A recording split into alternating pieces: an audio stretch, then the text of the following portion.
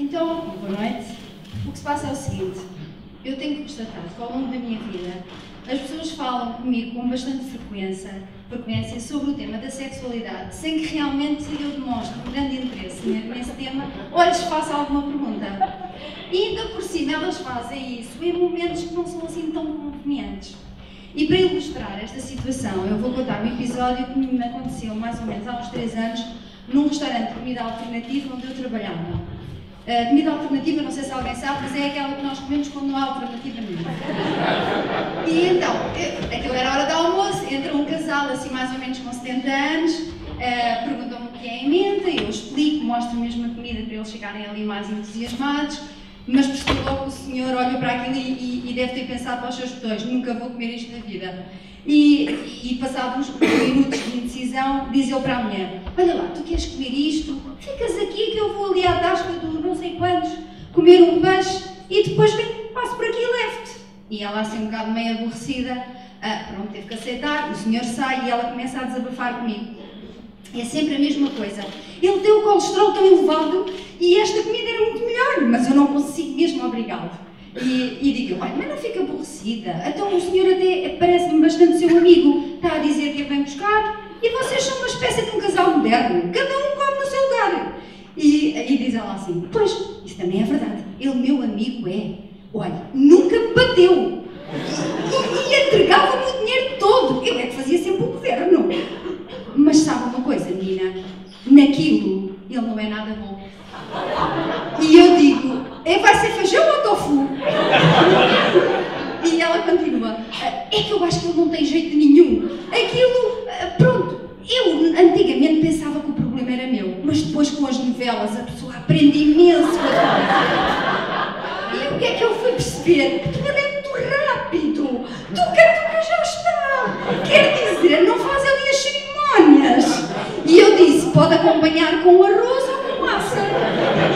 E ela continuou, é um desgosto tão grande, menina, que eu levo para a cova. Então eu nunca tive aquela respiração muito rápida.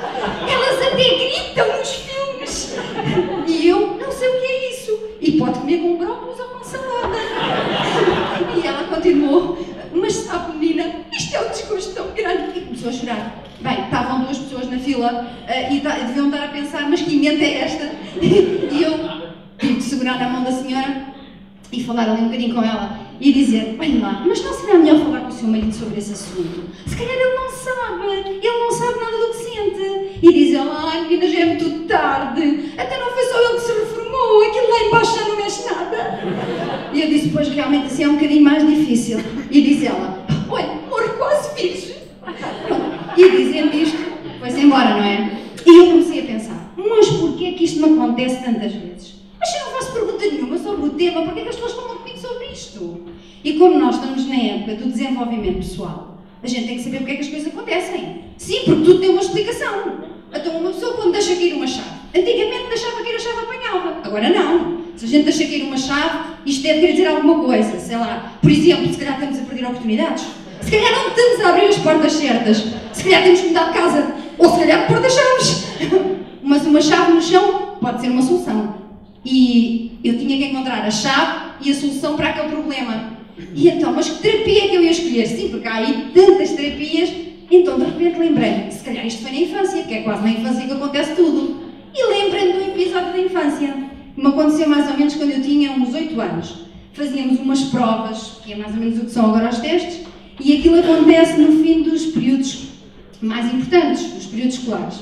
Então, eu fiz uma prova, a prova tinha várias partes, incluindo uma redação, que nós podíamos ilustrar com um desenho. Uh, aquilo correu muito bem, eu tive muito boa nota, mas eu cometi um erro terrível. Então não é que eu desenhei aos 8 anos um burro com pilinha?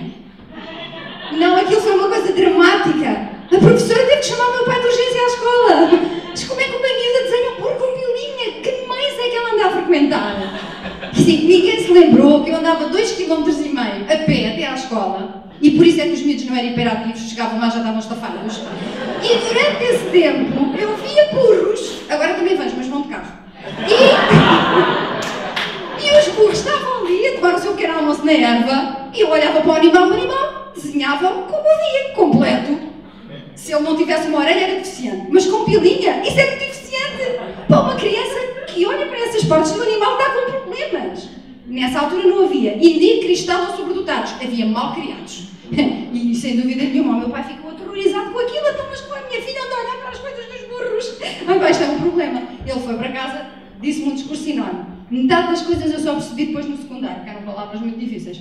Mas uma coisa eu percebi: não se desenha burros, vacas, ovelhas ou borboletas com a sua identificação sexual. Não, isso não se faz. Porque não se fala com as pessoas sobre isso. E muito menos se desenha. Ora, ali estava o meu problema. Portanto, o que é que eu concluí? A melhor terapia que existe é nós ouvirmos o que as pessoas nos dizem e perceber o que é que isso tem a dizer sobre nós. Porque eu fiquei curada.